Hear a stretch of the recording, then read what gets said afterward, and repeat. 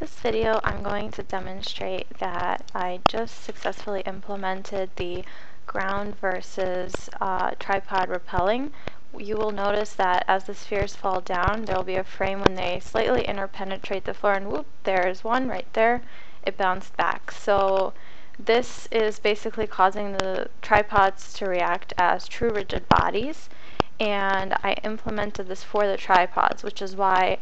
the spheres themselves are slightly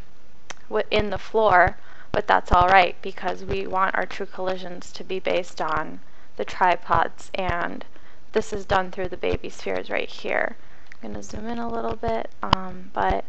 that is successful and they are currently on the floor, not penetrating, and the next step is going to be implementing the sphere versus sphere repelling.